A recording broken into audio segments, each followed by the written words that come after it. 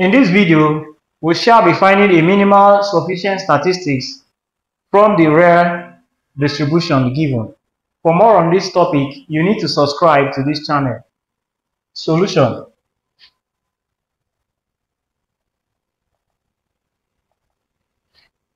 For a statistics to be sufficient, it must meet this criteria.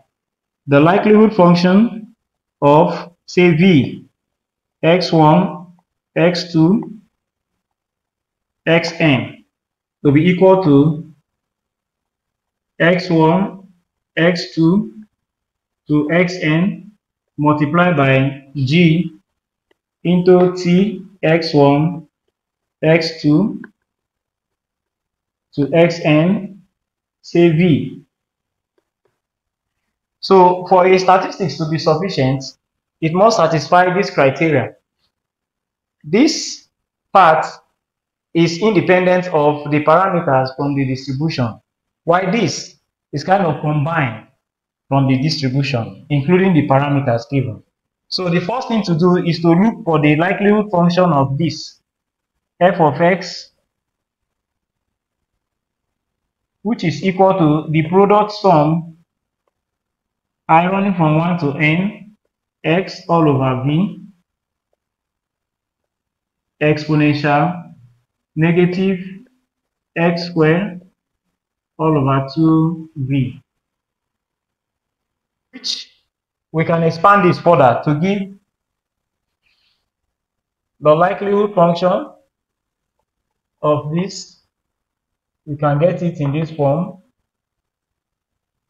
to be equal to first we say 1 all over v 1 x 1 exponential x squared 1 all over 2b multiplied by 1 all over v, the second one, x 2 exponential negative x2 squared 2v multiplied by, that, by it continues like that to give us 1 all over b raised to the power of n, n times x raised to the power x n, sorry, then exponential negative x i's raised to the power of 2 all over 2v. So if we put them together, we'll see that our likelihood function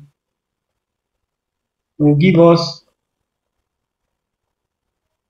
1 all over v raised to the power of n summation of xi as i running from 1 to n and exponential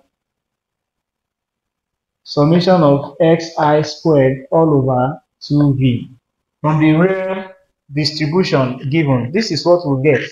So if we want to compare this with our sufficient statistics that is all we need to do. It then means that our h x1, x2, xn is equal to summation of xi. Also, we can say t to be summation of xi squared.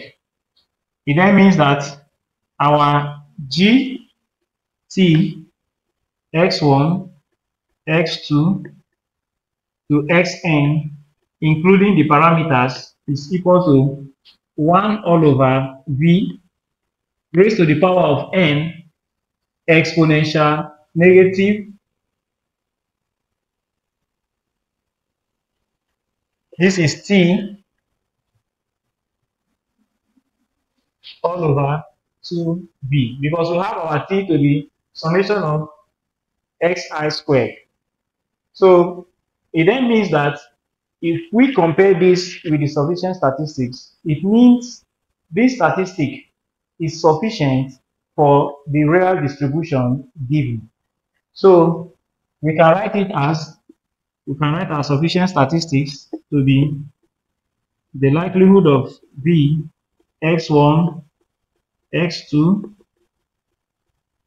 to xn to be equal to we have this first summation of xi as i running from 1 to n multiplied by 1 all over v raised to the power of n exponential negative p all over 2v. So this is how we can write it. So it then means that t, which is equal to summation of xi squared is a sufficient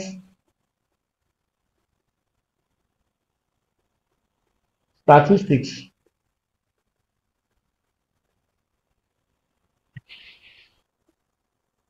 For the Rayleigh for the Rayleigh distribution the Rayleigh distribution given so it means that the distribution that means t which is our statistic is a sufficient statistics for the Rayleigh distribution given. This is the distribution that is given. So since it satisfies this condition, it means it's a sufficient statistics. For more on this topic, you need to subscribe to this channel.